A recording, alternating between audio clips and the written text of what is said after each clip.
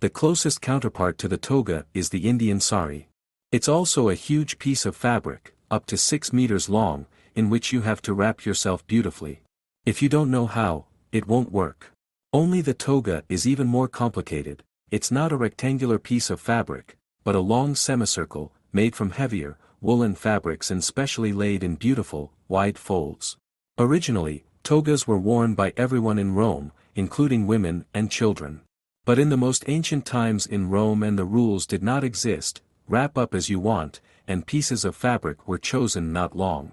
But by the time of classical Rome, by the 1st century B.C., it turned out that toga was only a man's official clothing, an approximate analog of today's business suit with a tie to match.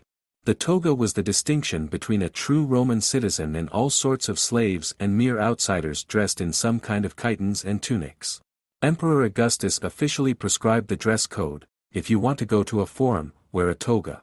The toga became a symbol of the citizen of the capital, provincial officials wore them, of course, but mostly on major holidays, and they served as objects of satire, the famous Juvenal denounced them, but only Roman citizens in the capital wore togas on a daily basis. If a Roman went into exile, he was automatically deprived of the right to a toga. However, an ordinary man would not have wound it on himself. Just as ladies of the 19th century needed maids to put on a corset and crinoline, so the Roman needed a special slave, the Vestiliarius, to wrap Roman men in togas. It was a whole profession that had to be trained. In the absence of irons and steamers, it was a difficult task to arrange the woolen cloth in beautiful folds so that it would hold up all the time while the master made speeches in the Senate. The folds were fastened with special clips, and the toga was hung on special hangers to hold the folds. There were different togas. The usual everyday toga was white, like a black suit nowadays. Another version of a snow-white toga, and here I come out in a dazzling white suit, was the toga candida, the toga of a candidate for office. Well, yes, it must be spotless.